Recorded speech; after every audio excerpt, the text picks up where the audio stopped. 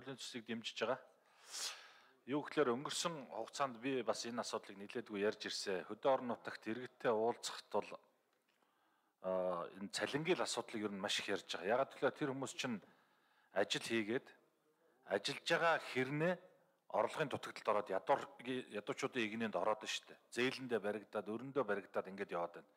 Тэгэхээр энэ асуудлыг бас шийдэх гэсэн одоо тодорхой зорилготой хууль орж ирж байгааг бол хоёр гараа өргөө дэмжиж байна.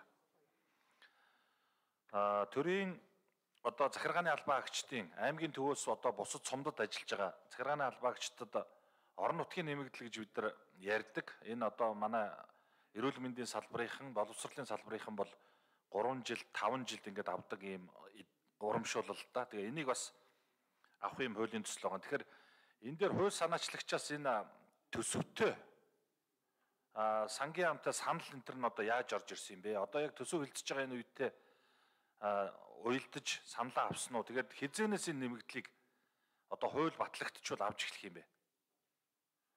Аа тэгээд дээрэс нь энэ дээр бас бидний нэг асуудал хандахдаа нэг тийм өрөөсгөл аль нэг одоо ярьсан газруудад нь гал унтрах байдлаар асуудалд хандж байгаагийн бас нэг илрэл болчих үедээ гэсэн ийм одоо бодол байна. Ер нь бол манай монголчийн хэрэгцээтэй боловсон хүчнийг бэлдэх бодлого бол алдагдчихад удаад байгаа. Тэгээд тэр төрийн ТЗ-ийн албан хаагч одоо дутагдaltaй байгаа чи энэтэй л холбоотой. Дээрэс нь шинээр тэнд очиж ажиллах залуучууд дээр цалингийн асуудал, нийгмийн асуудал нь хөрөлцөхгүй учраас сонирхохгүй байна. Амьдралд нь ягаад ч хүрхээргүй юм цалин санал болгож байгаа учраас. Тэгэхээр энэ бол манай улсын бас энэ хөгжил бодлоготой холбоотой ийм асуудал болчиход байгаа. За хоёрдугаар энэ жилийн төсөв дагаж бас нэлээд олон одоо манай энд байгаа гişүүд энэ төр нэлээд ярьсны үндсэн дээр энэ төрийн захиргааны албаа агчны цалин нэмэгдэхээр орж ирсэн. За 20% нь бол төсвөөс гэж ингэж ойлгож байгаа. За 80% нь орон нутгаас гэж байгаа. За орон нутгаас бол үндсэндээ улсын төсвөөс татаас авж байгаа аймагуд чинь яаж энийг одоо нэмэх вдэ? Энэ бол худлаа тоо гэж ингэж харж байгаа.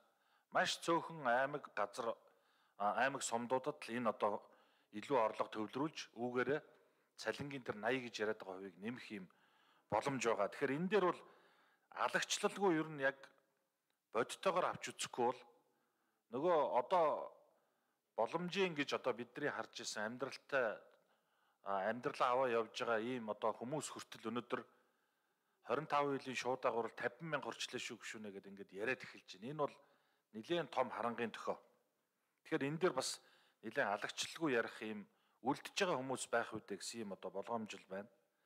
Хоёрдугаар туйл санаачдаг чин зөр гишүүн бас ярьж байна энэ Т үгийнх ингээд хамгийн түрүүнд ирдэг хамгийн ороо явдаг тухайн байгууллагын хамаг хар бор ажлыг нуруунд дээрээ үрдэг хэсэг байгаа.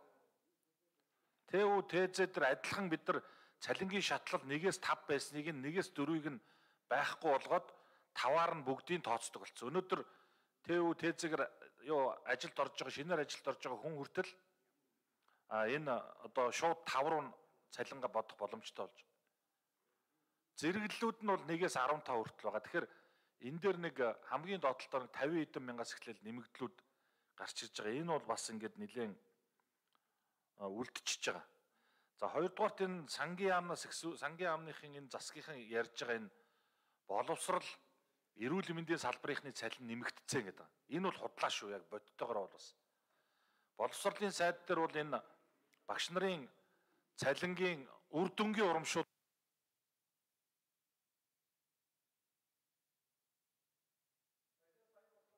За. За туван гишүүний 1 минутыг нэмж өгье тодруулга. За энэ боловсролынхан болохоор бид нар мэдж байгаа шүү дээ. А 90 тэрбум төгрөг оруулж ирээд үр дүнгийн урамшуул тэгээд тэгээд одоо эн чинь багш нар дээр явсан. Нийгмийн ажилтнууд дээр жишээлбэл байхгүй. За эрүүл мэндийнхэн дээр бол бүр орон нутагт суман дээр бол бүр худлаа шүү. Бүр бах байдгаараа байгаа. Энэ одоо нэг гүйцэтгэлийн санхүүжилтийн бодлого гэдэг энэ бодлого явж байгаа салбарын яам нь энийг олигтой буулгаж ажиллахгүйгээс болоод эрүүл мэндийнхэн бах байдгаараа бүр дордцсон сууж байгаа юун цалин нэмэх нэмэх нэмэгдсэн гэх тийм байхгүй. Гүйцэтгэлийн санхүүжилтийн програмч ажилд ороогүй гүйцэтгэлээр нэгч төгрөгийн санхүүжилт аваагүй сууж байгаа. Ер нь энэ хууль батлагдсан гээл авж байгаа гээл аваад байгаа. Ялангуяа сангийн амныхны үгнээс энэ үг бол маш их гарч байгаа. Энэ бол худлаа шүү. Тэгэхээр иймэрхүү бодлогын цоорхоонууд нэлээд байна. Тэгэхээр энийг цогцоор нь авч үзэж болоогүй юу гэсэн ийм асуултыг хууль санаачлагчаас асууя. За, хууль санаачлагч Содмын чин зэрэг гişэ хариулъя. За, туван гишүүний асуултанд хариулъя.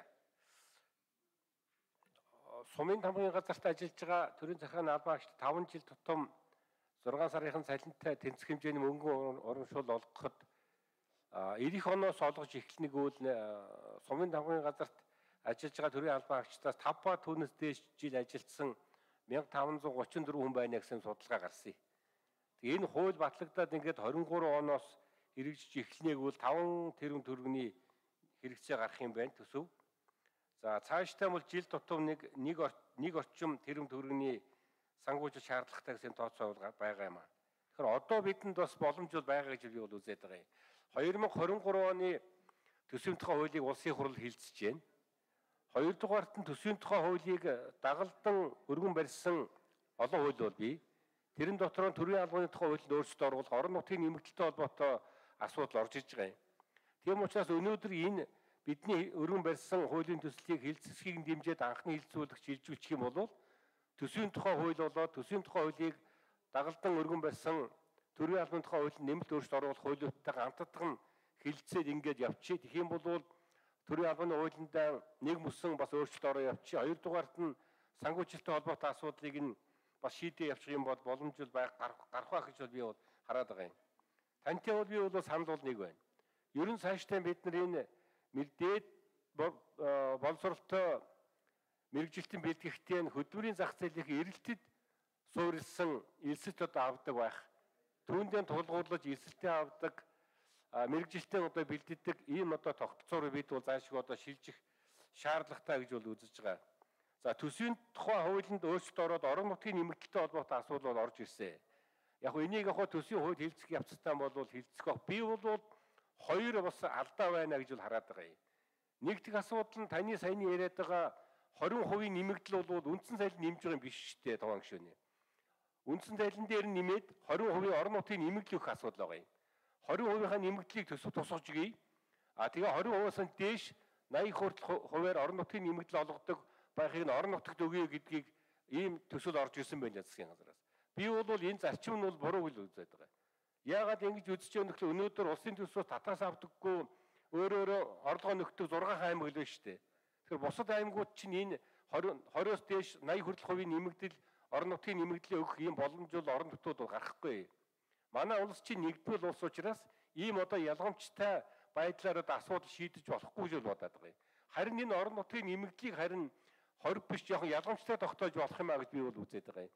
Тухайлбал говийн аймагуд юм уу эсвэл Улаанбаатар хотоос хит одоо анслагдсан баруун аймагуудад ажил жамдуучууд төрийн халбаа агчдад олох орон нутгийн нэмэгдэл нь араа өөр одоо бас байж болох юм а гэж. Хоёр дахь нэг асуудал нь энэ орон нутгийн нэмэгдэл чинь зөвхөн төрийн захиргааны албан хаагч дээр орон нутгийн 20% нэмэгдэл олгохоор төс хууль орж ирсэн байна лээ. Тэгэхээр орон нутагт ажиллаж байгаа төрийн үйлчилгээний албан хаагчтаа 20% нэмэгдэл одоо өгөхгүй байх үгүй юу? Төр одоо орон нутагт ажиллаж байгаа төрийн албан хаагчтаа ТЗ ТУ гэдгээр нь ингээд бас тэгш бос. Ялгамжтай хандах асуудал байх уу эдрийгээд бас асуудал байгаа гэж би бол харж байгаа. Эдгээр асуудлуудыг төсвийг хуулийг одоо анхны хилцүү хоёр дахь удаа хилцүүлэгт э, бэлтгэх одоо явцдаа ялангуяа их хурлын даргын захимжаар байгуулагдсан ажлын хэсэг энэ дээр нэлээд нухацтай хандаж тэгш ижил одоо ханддаг одоо байх оновчтой одоо тогтоох. Ялангуяа орон нутгууд э, орлогоос хамааран ялгамжтай орон нутгийн нэмэгдэл э, олгодоггүй одоо байх ийм одоо зохицуулт хийдэг нь нэлээд оновчтой болгож өгөх нь зүйтэй авахаа гэсэн ийм бас бай суурьтай байгаа гэдгийг хэлье. За туван гишүүн тодруулъя.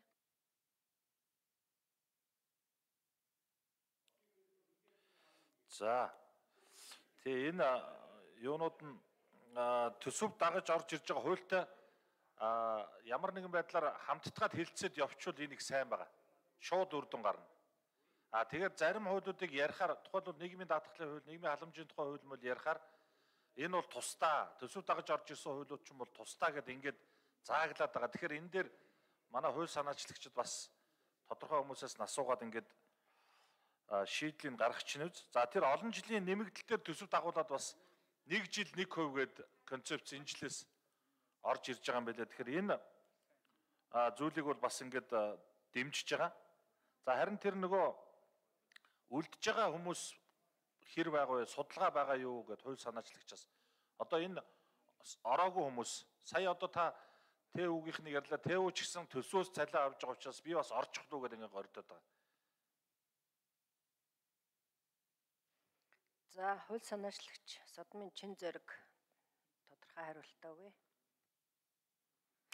Яг нь энэ төрийн албаны тухай хуулинд нэмэлт өөрчлөлт оруулах хуулийг төсвийн хуулийг дагалдан өргөн барьсан хуультай хамтдаган хэлцэх боломж бол байгаа гэж бол хараад байгаа. Яагаад гэвэл орон нутгийн нэмэгдэл олгохтой холбоотойгоор төрийн албаны тухай хуулинд нэмэлт өөрчлөлт оруулах хуулийн төсөл ороод ирсэн учраас энэ одоо хоёр хуулийг хамтдаад хилцээд одоо явах юм одоо боломж нь бол байгаа.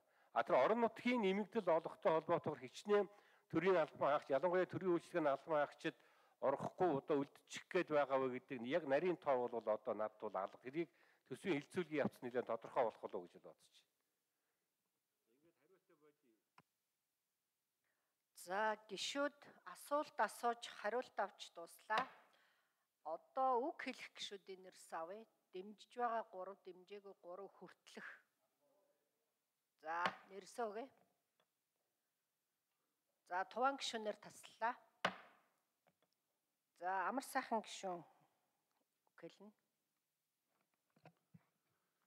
За дөрвөн албаны хууль хилцэж байгаатай холбоотой нэг зүйлийг эхлээд хэлхэн зүйтэй байна. Төрийн албаны зөвлөл бол маш сайн ажиллаж байгаа. Ажил хийхгүй байгаа албан тушаалтнууд ахтуу амрагсад найз нөхөж чаддаг чадахгүй хүмүүсээ томилдог нөхдүүд төрийн албаны зөвлөлд нэлээд бас төвч хэрэг учруулж байгаа. Тэр асуудал дээр анхаарч хаана энэ хүмүүсээ мэрэгшүүл журам дүрм журамдаа нийцүүлж ажилдаг, ажилуулдаг байх боломжийг бүрдүүлж ээж энэ төрийн алба өсөө мэрэгснэ нэгдүгürt. Хоёрдугаар ерөнхийд нь хэлэхэд энэ төрийн ч бай, хувийн ч бай салбарууд бүгд боловсон хүчний хомсдолд орсоо. Мэдлэгтэй чадвартай туршлагатай хүмүүс ажиллах одоо боломж улс төрийн албан тушаалаас бусд нь баг ер нь байхгүй гэж хэлж болно. Цалингийн ялгаатай чадвартай чадaltaа нь ажиллахаа болсон. Нөгөө талдаа чадахгүй мэдхгүй хуулиар хамгаалагдаад үлддэг.